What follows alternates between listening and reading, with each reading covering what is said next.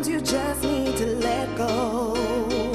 Don't keep it all inside. Sometimes you just have to let the whole world know that you're gonna be alright. So come on, give it up, give it up, get into your rhythm. No need for you to be stressed. So come on, give it up, give it up, get into your system.